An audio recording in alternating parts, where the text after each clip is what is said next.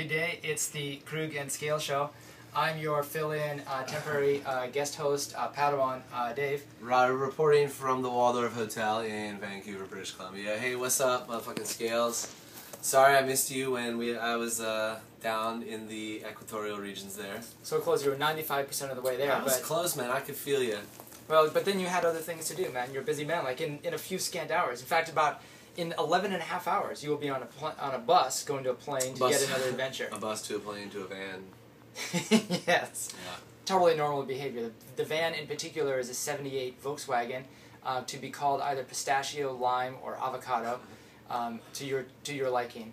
Yeah, we Uh, gotta see it. Or maybe like dank. Yes. Dank, dank green. It's a nugget. It's a green little nugget of a bus. And uh, but also there's an alternative way that you could travel now uh, if you wanted because you are uh, practically Yeah, authorized man. to uh, to fly. I got my student pilot's license, dude. Let's uh, we have, we have an exhibit out here. Let's take a look. Yeah, actually, this is uh, some Certificate. proof. Now uh, this is to certify. You're in the way, Dave. Thank, thanks, director.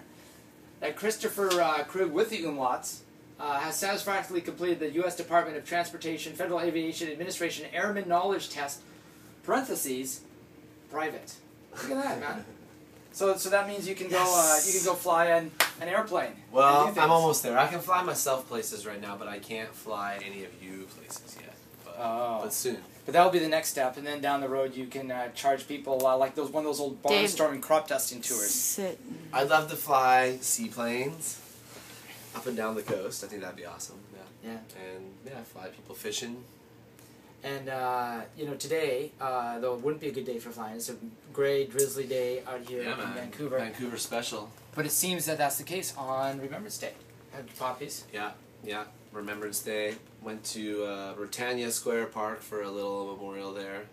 What were you calling the the obelisk? Cenotaph. Ah, called yes. cenotaphs, yep. A word you'll almost only hear on Remembrance Day. Yeah, we've visited several cenotaphy, cenotaphs before, because uh, the other year we went to the Japanese cenotaph in Stanley Park. Yeah.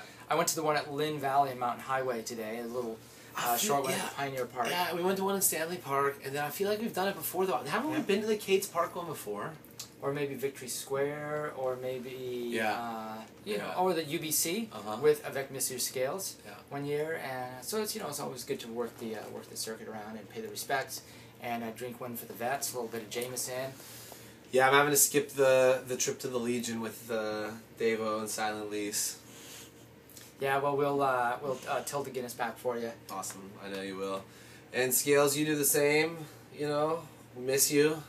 Can't wait to see you. We will. Uh, I'm gonna Yes, come your- see your- you eventually. Your toned bra- bronze tattooed body there Yeah, in the. South Pacific, while uh, I remain in BC getting uh, paler and flabbier and crumpier. It's a good thing, man. He's putting on a little weight. He's healthy, healthy again. Yes. Brought him back to life. Au revoir, monsieur. Avec mon ami. Kawaii. And all the other friends.